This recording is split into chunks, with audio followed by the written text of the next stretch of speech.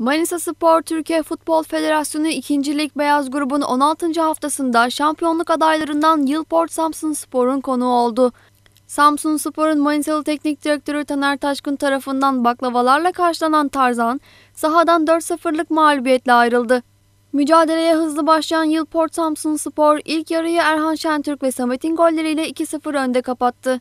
İkinci yarıda ilk yarıya oranla daha iyi bir oyun sergileyen Manisa Spor pozisyon üretmekte zorlanırken skor rahatlığıyla oynayan Samsun Spor 90 artı 1. dakikada Muhammed, 90 artı 4. dakikada İlyas Kubilay'ın golleriyle 4-0 farkı yakaladı.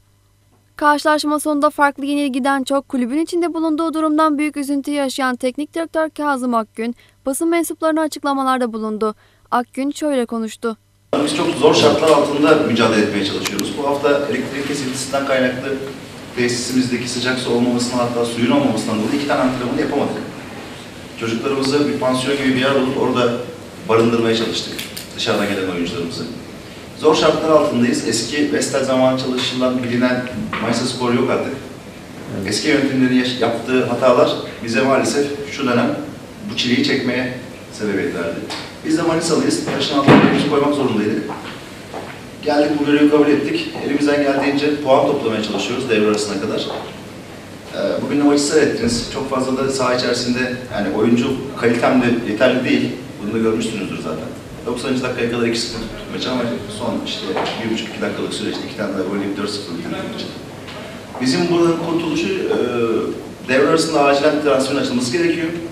Ve buraya işte 17 haftalık periyotta takıma katkı sağlayabilecek, burayı benimseyebilecek oyuncuların transferi gerekiyor. Siz de biliyorsunuz ki devre arası transferleri genelde çok fazla takıma uyum sağlamaz.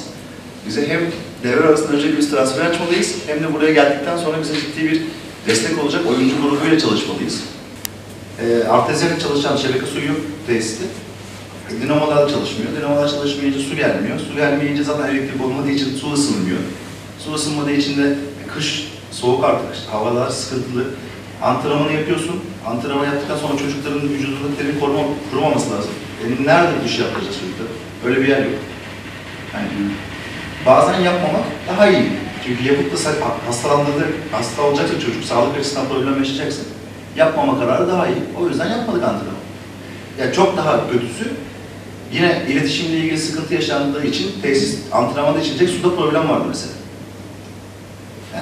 Antrenman içerisinde içeceğimiz bardak suda problem vardı. Yani yoktu yani bardak su yoktu. Su yoktu. Yani hani o yönetim tabii ki onu halledebilir. İşte o anki o su işinden sorumlu arkadaş atlamış, var zannediyor falan filan ama yoktu yani. İçme suyu değil, yıkama suyu da yoktu. Yani antrenman yapılıyor, terliyorsun. Şimdi halı sahaya gidiyorsun mesela. Halı sahadaki şey kirli. yapamıyor. Banyolar. Evine gitmen lazım. Ne yapıyorsun? Montunu giyiyorsun üstüne, şomanı bir daha üstüne giyiyorsun. Deyler koy ter üstünde kurumasın, soğuğun yemeyeyim diyorsun. Sen normal bir bireysin, sedentersin. E bunlar profesyonel futbolcu. Bu çocukları nasıl, nereye göndereyim yani? E çocuk Kuşadası'ndan gelmiş, Bodrum'dan gelmiş, bir tanesi Avusturya'dan gelmiş, bir tanesi İzmir'den gelmiş. Yani nerede duş alsın çocuk? Tesiste kalan 10 tane o çocuk.